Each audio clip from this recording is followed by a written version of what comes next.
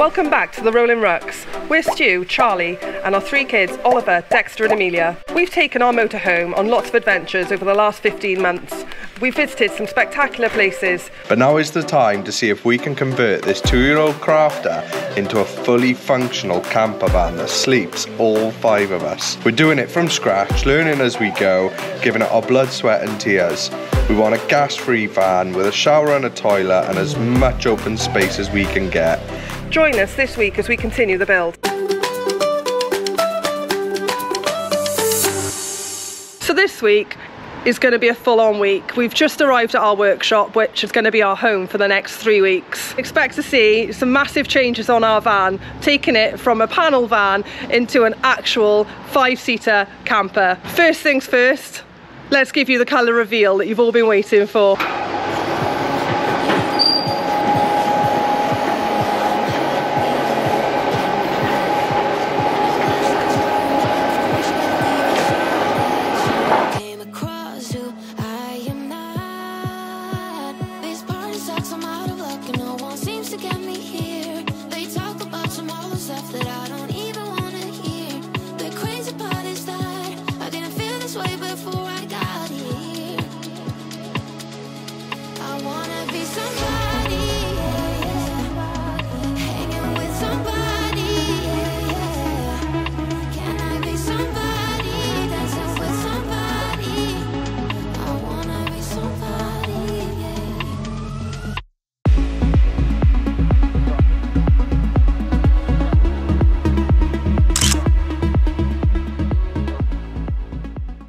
Morning guys, it's half eight in the morning. The day has finally arrived when we're gonna get some rear seats in the van. So as we mentioned before, there was a bit of a delay and it wasn't the brilliant guys who were fitting it.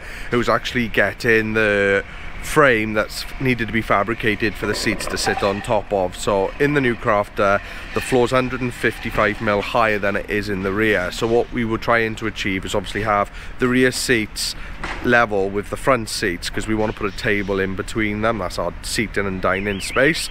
So I am at Camper Family Cymru. These are the guys who are going to be fitting the seats. So I'll take you in, we'll have a look at the frame and the rough position. They're just sort of starting to get going now. This is the frame we've had fabricated. And that's been done out of the 25mm tube stuff. And then they've mounted the, the base rails for the seats. So we're just working out now positioning sort of depth ways and front to back because when these seats obviously turn around they're going to be a bit further towards the front and then we want to get a table then in that area so that we've got somewhere to eat. So the seats are just here. They've been keeping them protected looking after them so in true fashion where the seats are going the exhaust box is right underneath so these boys have got their work cut out for them right so they've got to take the exhaust part a part of the exhaust down because it's right in the way of where they need to get underneath it so there's four lads in there working and I did spy a burger van on my way in. So I'm gonna treat them to a bacon bap. So I'm with Dan and John. Both, neither of them want to look at the camera. Come on boys, say hello. hello. so I got John and Dan. These are the guys fitting our seats. So we've had a little bit of luck with this. The actual frame which the seats sit on happens to fall over one of the chassis cross members. So they're using these high tensile bolts, really big thick things. They're able to go through the seat plates, through the metal base that is sitting on, through the floor, and then also through this chassis cross member. So something's on our side today. How's it going, John? Yeah, it's going good. Just trying to figure out exactly the position of the seat now. As you said, we've got a couple of beams running underneath that we need to hit or miss. So we're just trying to figure out what the best way to go about that to give it some structural integrity as well, I guess. I'm here with Rob at Camper Family Cymru. I got it right that time. What do you do here, bud? Uh, just general converting vans. People come in with the, the vans and uh, they sit with John design the go through it, go through it all, and then yeah, we crack on basically. And then do you do a lot of like the smaller things, like if someone say wanted a diesel heater fitted? Yeah, we do it. We do big and small jobs, so yeah, happy we're happy days. to take on anything.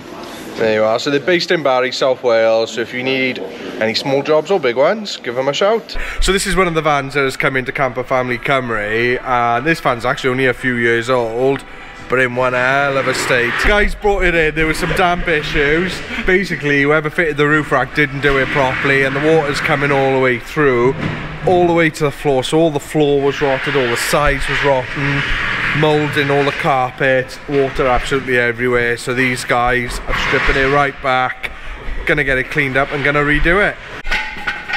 So I've had to go up to Swansea. It was about a two hour trip there and back to pick up these M12 high tensile, I don't know what they're called, they're fully threaded. Uh, the other ones were just a little bit too short when they went through sort of the cross member. So now these can be cut to size and we can get these seats in.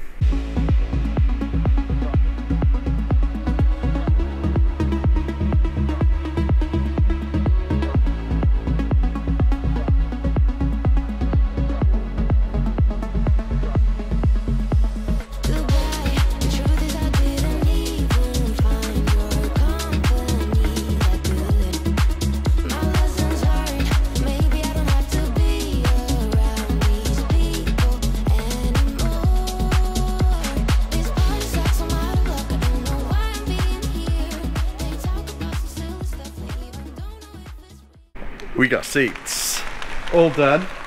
Frame to raise it to match the height of the seats at the front. These are a little bit higher at the moment, but that's because the swivel plates that will go onto the front seats are going to raise them as well.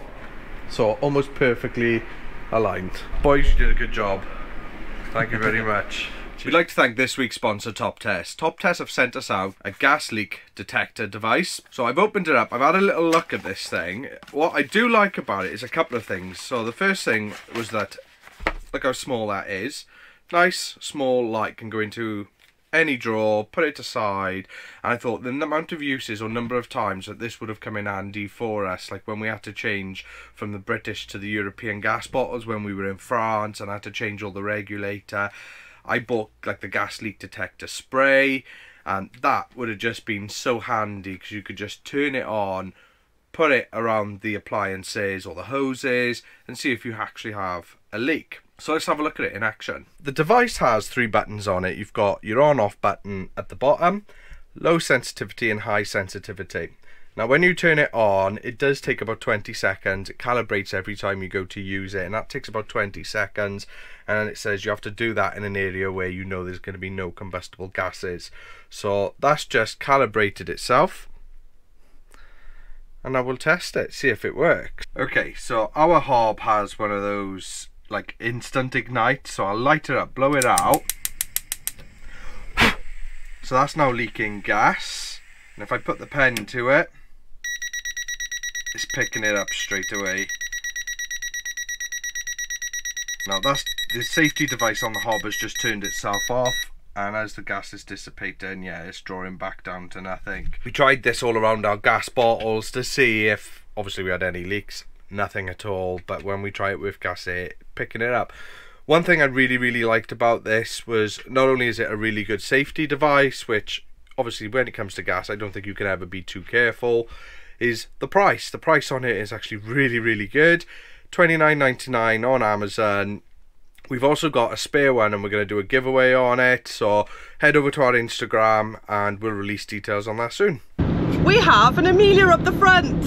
Hey! that can only mean the seats are in. We're in the crafter. We're heading off up to Weston-super-Mare. We're going to get some supplies. So what are we getting today?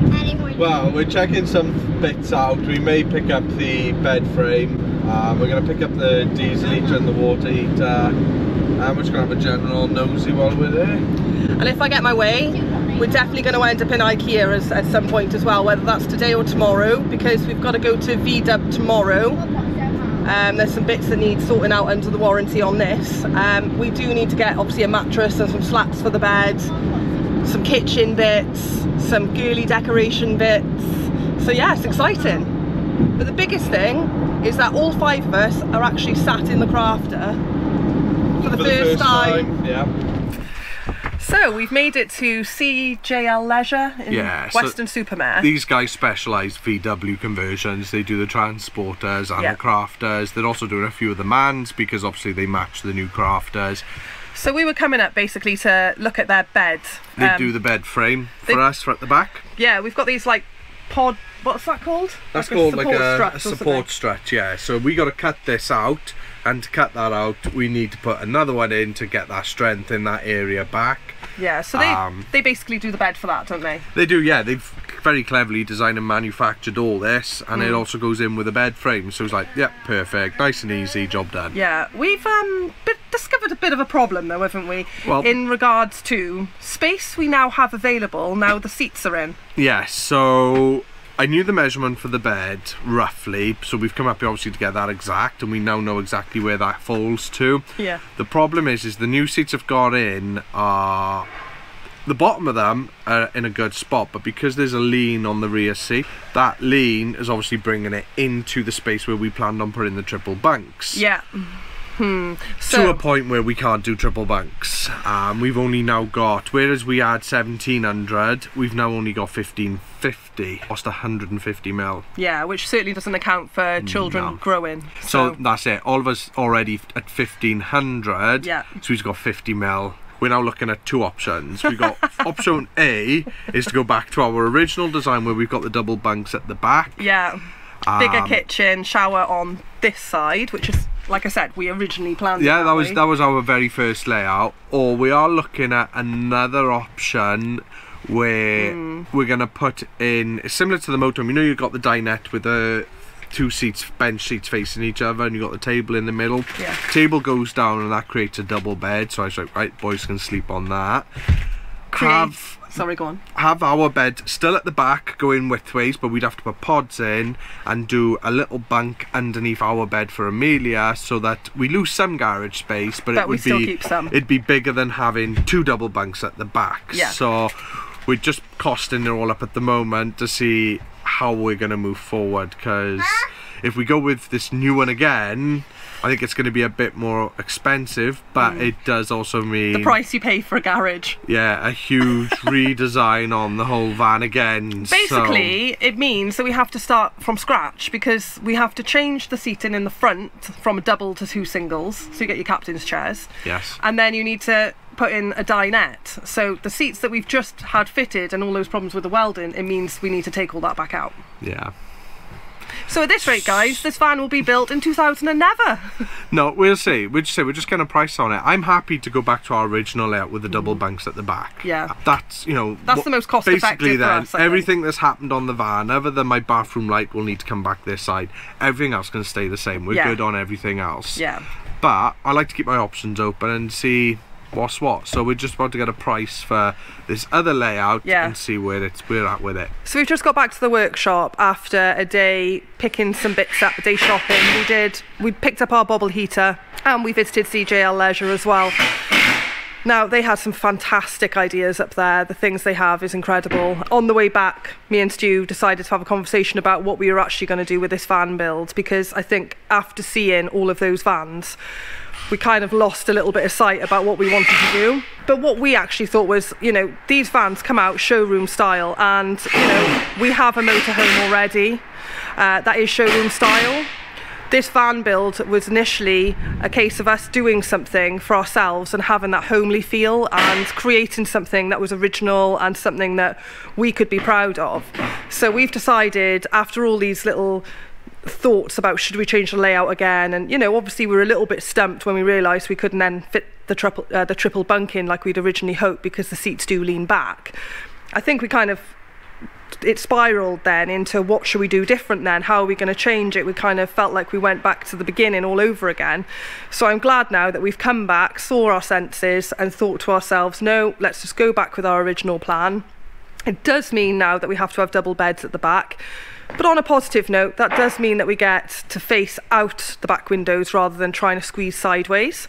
It also means the kitchen is now going to have more room, and it means that the shower and the bath, the bathroom area can actually be where we originally planned for it to go. There is also going to be some extra space for another cupboard there, so hopefully design something for Pebbles. I want Pebbles to have his own place in the van, that he doesn't need to feel like he's being squashed in anywhere. He'll have his own bed, his own place for his food bowls and stuff like that that Stu can just design. There's, you know, it's going to be our own stamp, so I'm looking forward to that. And we're literally just getting stuck in with that idea now so that we literally can't change our minds again. so we've had to take the seats off our welded support, strut, whatever you want to call that, um, because obviously the floor's got to go down around it. So that's where we're at.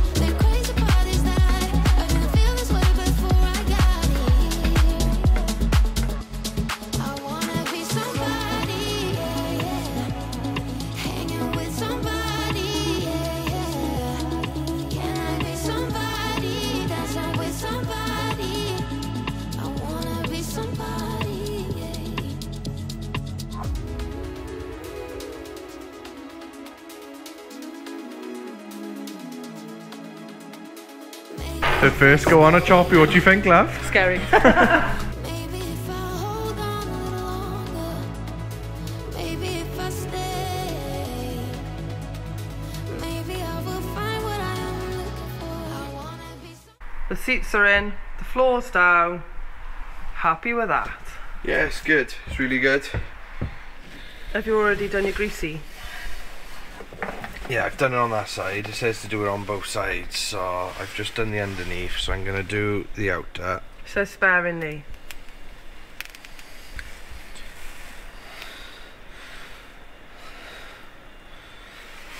I mean, mm, that's I can't be much more sparingly than that. But I'm gonna use the whole sachet. Well?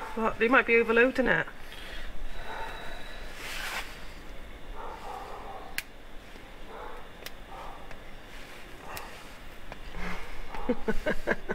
Is there such thing as overloading? There you go.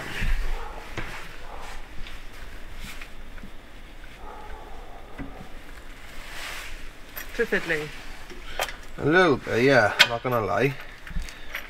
But Just where it it's, is. it's simple. It's a little bit fiddly, but it's just simple enough. Right, that's hit the nylon now. But see this, then it comes down quite a lot, doesn't it? This is in the closed position. You take your four lock nuts off, which are these things, and then you literally do that, Gosh, that's loads. and then that allows you To spin. That's to spin really it. like that, and then once you've spun it, you then will put it in the position in the And position. I can't do it a minute because I've got this fitted very loosely. Yeah, you've got to put all the screws, sort of ported screws and all that in as well. haven't Yeah. I got a shed load more of more nuts and bolts here, which are obviously for something. Well, don't they go in then? Well, that bottom plate is already. Oh no! You know what they'll be for, don't you? No. Well, I gotta fit the seat onto the top plate then, don't I? Oh yeah. No. Right, okay. That's what they're for. So let's lock that up.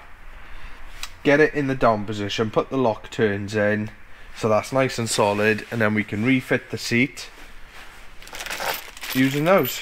nice. That's alright, that is. Again, that was quite an easy task.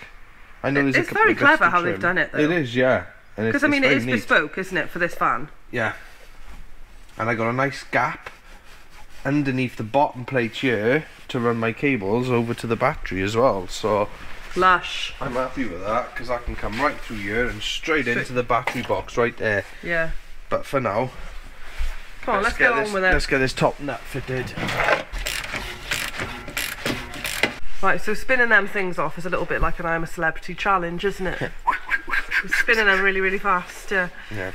But um, we've got to fit the seats with it in this position, haven't we? Yes, because you've obviously fit in from underneath, so we'll bring the seats over, put them on, fit them while it's in the raised position. It's not going nowhere, it's nice and solid.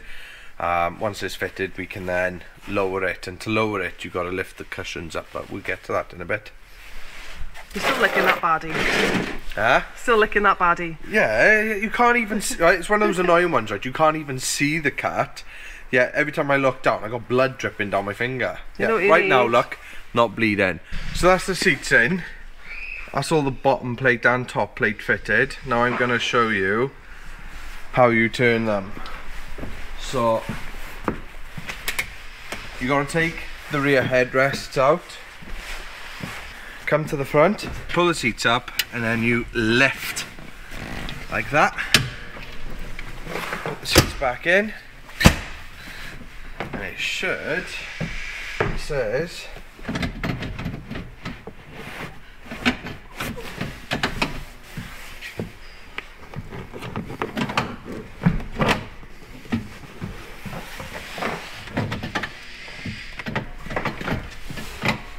I've done that bottom nut a little too tight.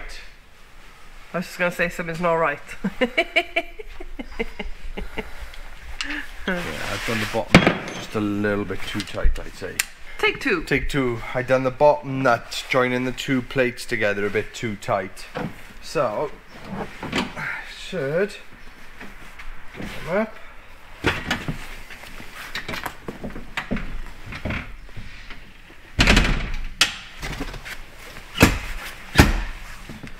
Boom! Nice. Is it comfy? That is actually. I think. I, I mean, this is obviously Amelia's seat. But that is five seats. Dinette. There's plenty of space here. Plenty.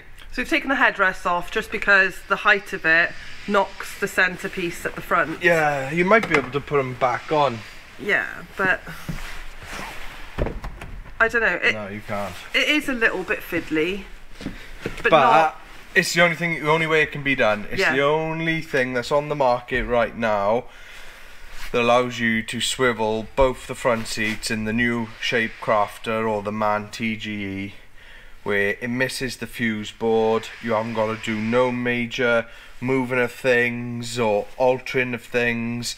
Um, I had one plastic trim to take off, so because it was a trim that that trim that goes underneath the fuse board. You know, it was easy. What Yeah. was that again? An hour to fit it? Not even that, I don't think. No, so I'm happy with that. So R&J campers, I'll put the description down below if you're looking for the spinning seats and you've got the single and the double, they do the kit so they both work with each other. These seats are all level with each other, so when we put our table in, everyone's sat at a nice height. Yeah, I mean the extra seats now. You wouldn't even realise were extra seats, would you? They look nice, love. I'm really happy with that. Well done, love. Living on the edge. Oh, it's quite high.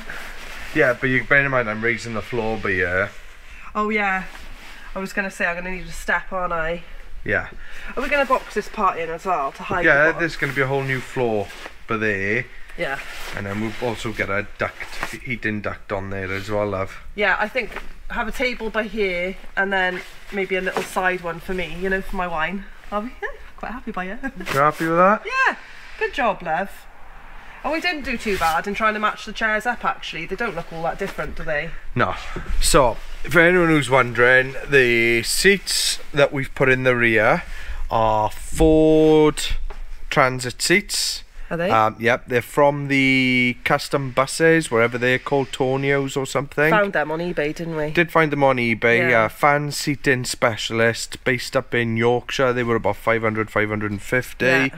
Um, the swivel plates we got from R&J Campers. I can't remember the price. They were up in York as well. But yeah, so I know for the double seat base, it's not on their website yet. But if you give them a call, they can run through pricing with you. Um, they were really good. He ran through everything with me. Anything's like bits we had to cut out. You know, he said you had to take the headrests out. So there were no surprises. We knew exactly what we were getting.